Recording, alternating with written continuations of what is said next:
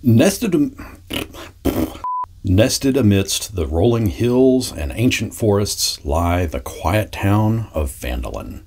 Game Masters here, and we have our review copies in of Phandelver and Below, The Shattered Obelisk. And I'll warn you up front that today's video will contain some spoilers as we do our first thumb through.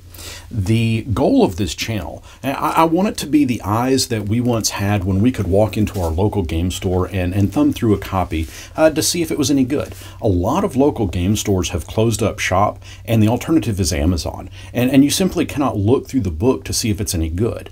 I want to bring that let's look through the book and see if it's any good service to, to, to you, the, the viewers. That said, let's jump into it and check it out. First up is the disclaimer. It reads, gotta find it. The fanatics of Ilvaash can neither confirm nor deny whether they plot to incorporate this book's owners into a mighty new Illithid empire. Any transformations incurred, up to and including face tentacles, are strictly coincidental.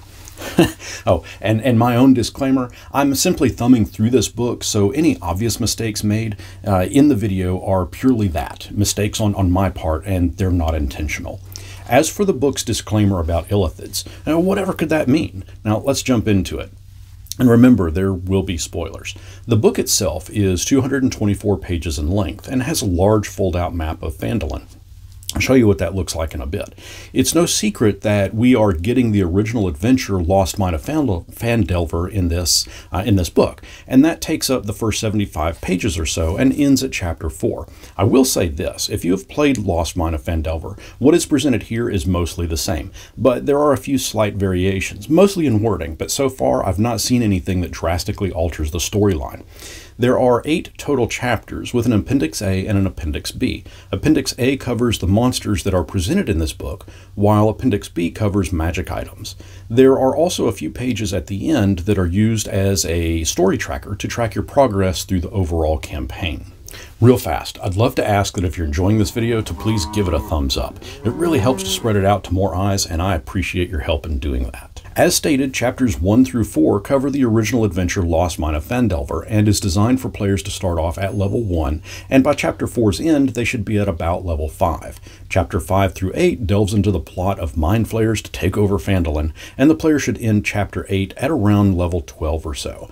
This campaign takes place in the Forgotten Realms, and we are provided with various backgrounds should you choose to create a character that is from the Phandalin region. There are also adventure hooks that the DM can use to introduce the adventures to the characters.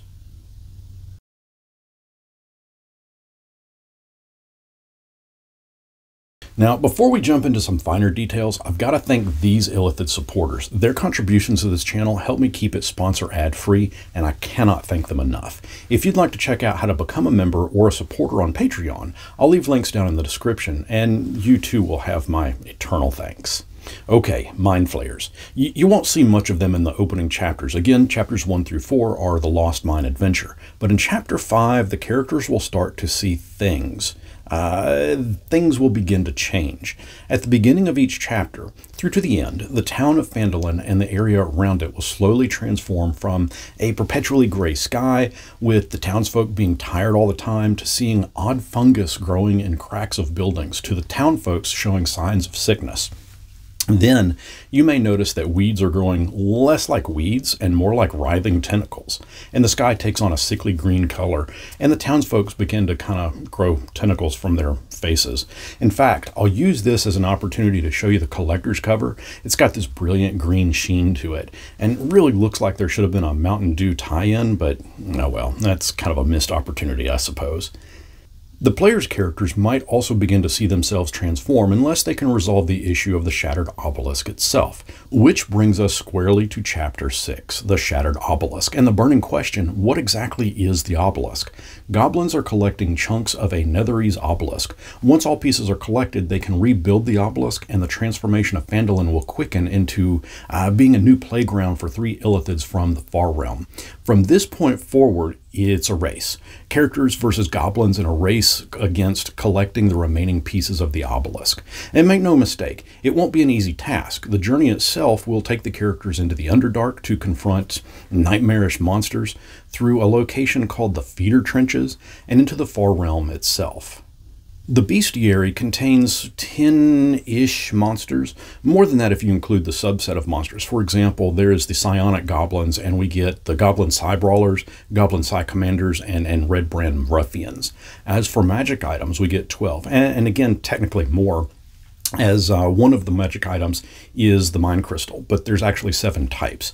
In fact, if you check out my channel, I released a video doing a deep dive of those just a few hours ago if you want to check that video out. Then you have the story tracker sheets and the map, which on one side is the map of Phandalin itself, and on the back side are larger versions of various maps that appear within the book, uh, which should be okay for the players to see.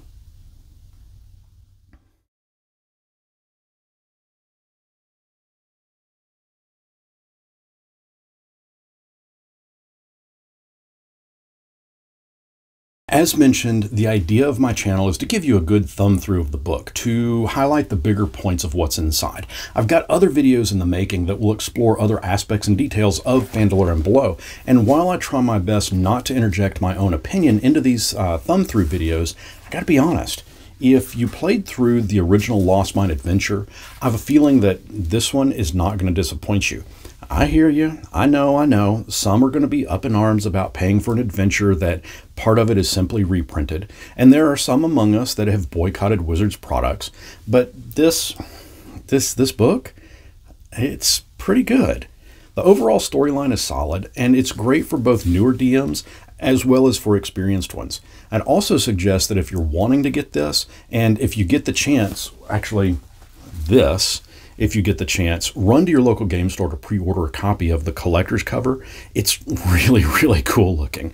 And if you don't have a local store to order from, I'll leave a link down in the description as to where you can order the regular cover from.